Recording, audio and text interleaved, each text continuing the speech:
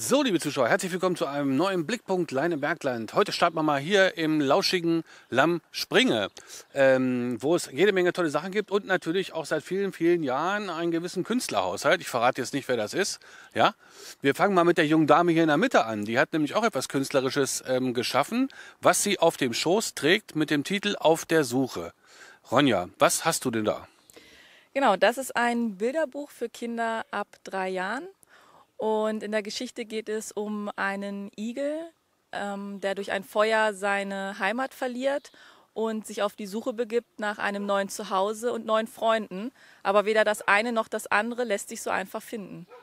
Okay, ähm, eine Geschichte und zwar eine Geschichte, die du dir ausgedacht hast. Erzähl uns doch mal, wie ist es denn dazu gekommen? Genau, die Geschichte ist in der Elternzeit entstanden, während ich mit meiner Tochter zu Hause war. Und ähm, da sind die ersten Ideen gekommen und ja, nach und nach hat sich dann so eine ganze Geschichte daraus entwickelt.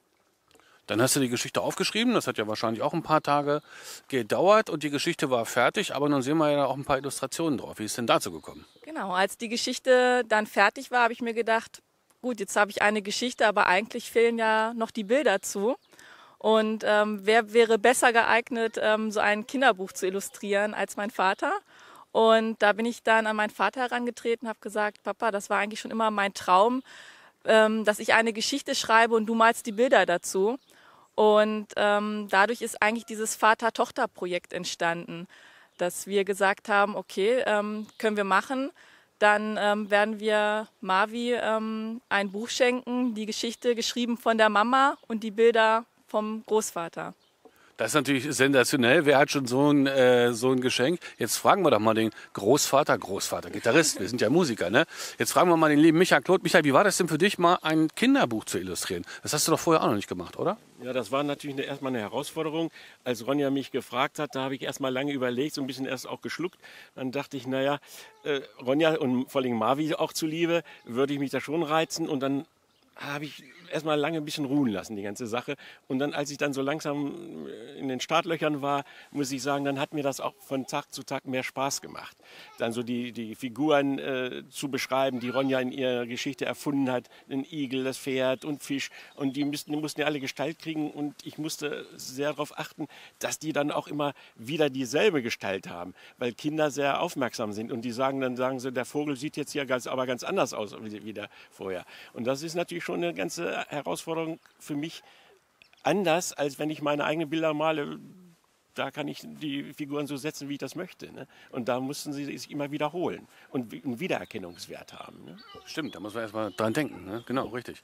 Dann habt ihr das ja sozusagen erstmal als ganz kleine, ähm, sozusagen kleine Auflage, ähm, Micha hat es mir vorhin erzählt, mal produzieren lassen für sozusagen für den, für den Eigenbedarf. Wie war denn das?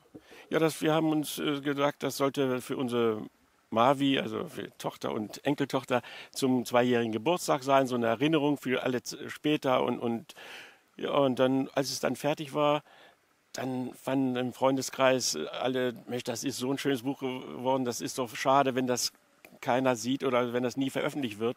Und dann haben wir dann doch uns Gedanken gemacht, äh, ob wir einen Verlag finden.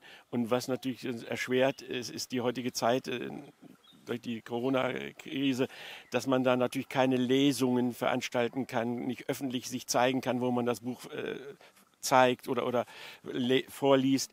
Und da waren wir dann ganz glücklich, dass sich der Hottenstein Verlag aus Siebesse bereit erklärt hat, er möchte das Buch gern verlegen. Und das ist natürlich eine ganz tolle Sache und da sind wir beide auch glücklich drüber. Und ja, jetzt hoffen wir, dass doch sich einige melden und Interesse an dem Buch haben. Ich kann nur sagen, das ist nicht nur für Kinder schön, diese liebevollen Illustrationen von mir sind auch wirklich für Erwachsene sehenswert.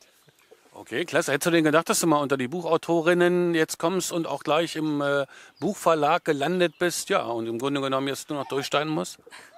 Ähm, nein, vor allem, weil das wirklich eigentlich ähm, ein Familienprojekt war. So hat das angefangen und ähm, das Ziel war, ähm, etwas Einmaliges für äh, meine Tochter zu schaffen.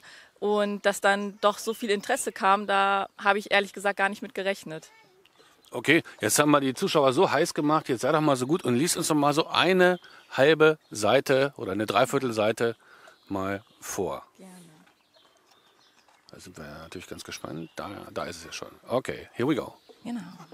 Das Feuer kam schleichend, doch wuchs stetig an, kroch näher und näher ans Igelhaus ran.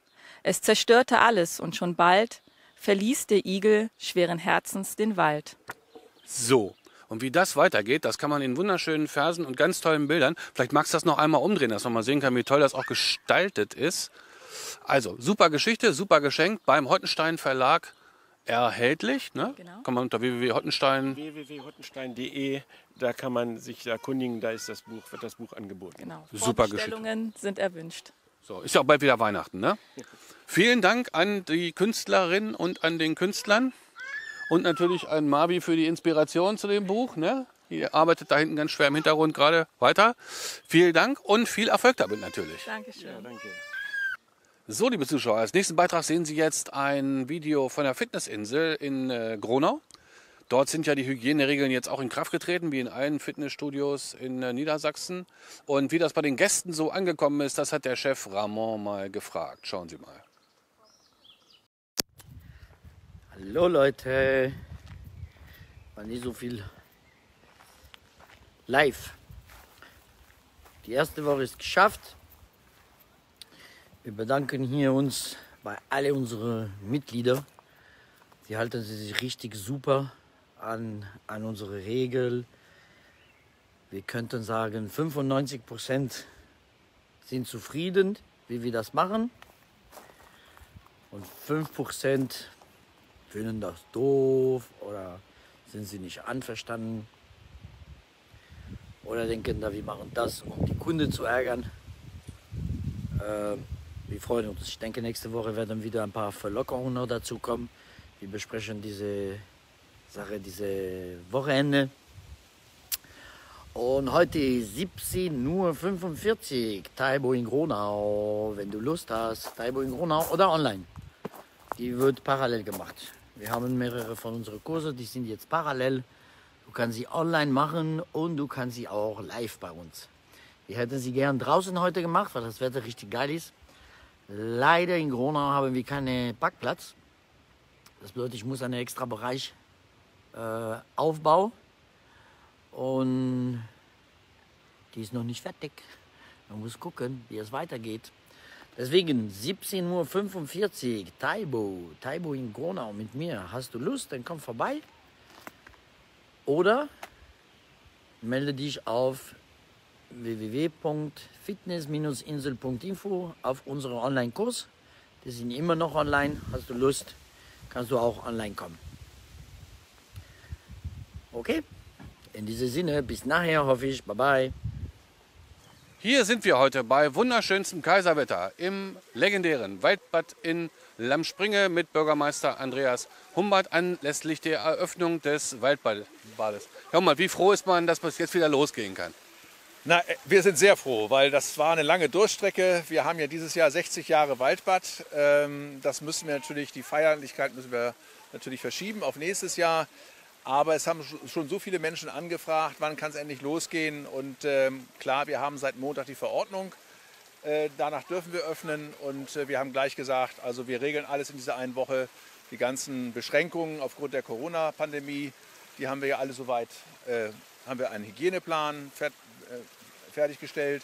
Also von daher konnten wir heute starten und da sind wir auch sehr froh. Wunderbar. Also ist hier alles safe und clean. Und ganz besonders, liebe Zuschauer, lohnt es sich hierher zu kommen, einmal mehr, weil es hier im Hintergrund, sehen wir das, ein ganz tolles Waldbad-Café gibt, das von einem ganz tollen Bild geziert wird. Was hat es denn damit auf sich, Herr Hummert? Ja, ähm, ich bin ja n, auch noch Vorsitzender vom Förderverein äh, Lammspringe, der Waldbad Lammspringe, der ja dieses seit Jahren dieses Waldbad auch äh, unterstützt. Und äh, wir haben gesagt, im Rahmen dieser Jubiläumsveranstaltung, in, in des Jahr, Jubiläumsjahres, 60 Jahre Waldbad, wollen wir auch insgesamt die Anlage verschönern und haben gesagt, dieses Café, das wollen wir also eben auch äh, farbig gestalten. Das war schon ein bisschen abgekommen im Laufe der Jahre. Ähm, und da haben wir eine äh, bekannte Künstlerin aus, aus Neuhof engagiert, äh, die ja auch die Bushaltestelle in Wöllersheim äh, farbig gestaltet hat. Äh, die war ja auch schon in den Medien. Ähm, und die hat eben äh, so ein Motive der Nachhaltigkeit. Wir sind ja offiziell anerkannte nachhaltige Kommune. Und da hat sie eben einige nachhaltige Motive auch in ihr äh, Bild reingebracht, wie äh, regenerative Energien, Integration, also Gleichbehandlung, ähm, auch von Menschen aus unterschiedlichen Kulturen.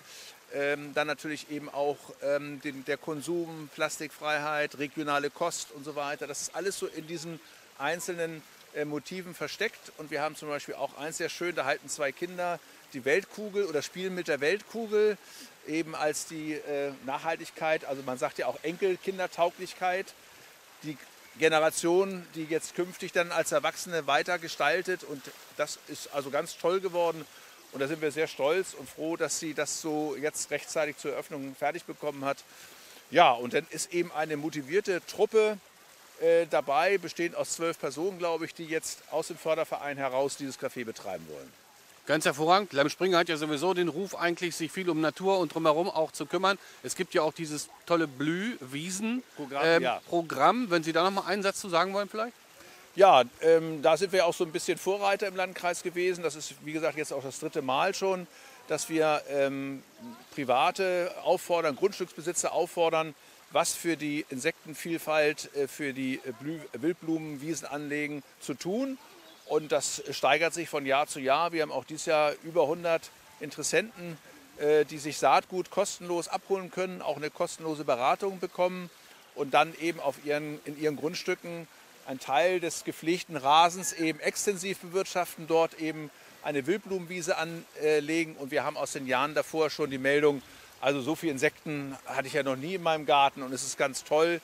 Äh, von daher ist das gut angelaufen. Ich habe auch Nachfragen von, äh, aus anderen Kommunen, aber mit, mittlerweile muss ich sagen, auch zum Beispiel die Stadt Hildesheim macht eine ganze Menge in der Hinsicht schon. Also es ist jetzt so doch, dass wir nicht mehr die Einzigen sind, dass es äh, mehrere Kommunen auch im Landkreis gibt, die jetzt auch da aktiv sind. Und das finde ich sehr gut. Klasse. Liebe Zuschauer, wie Sie sehen, Lammspringe blüht auf und hilft auch anderen Kommunen. 60 Jahre Freibad. Herr Hummert und ich werden jetzt gleich im Anschluss noch 60 Bahnen schwimmen. Da wollen wir Sie aber nicht die ganze Zeit Genau. dabei haben. Das dauert bestimmt eine halbe Stunde. Wir ne? springen jetzt rein. Ne? Natürlich, ne? Okay, bis zum nächsten Mal und tschüss. Tschüss. Liebe Zuschauer, das war unser Blickpunkt für heute und ich werde jetzt vor Ihren Augen mitsamt Mikrofon und äh, Funkstrecke in diesen Pool hier reinspringen. Oh, ich höre gerade, unsere Sendezeit reicht nicht mehr. Beim nächsten Mal. Bis dahin. Tschüss.